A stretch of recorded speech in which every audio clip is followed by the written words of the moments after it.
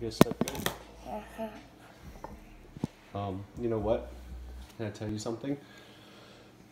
Last night, after you guys went to sleep, Daddy's ate all of your Halloween candy. No. We ate it all. I, our candy. It did. Where's our Halloween?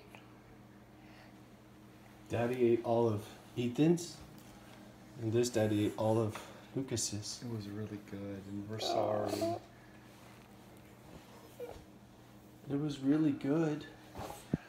I just like now I don't have any candy to eat.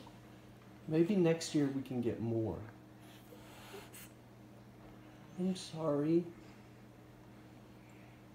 It was so good though. Can we have some uh, more candy? We ate all of it. Can we have some a little bit candy from the bowl? There's no more. I'm sorry. I see some more.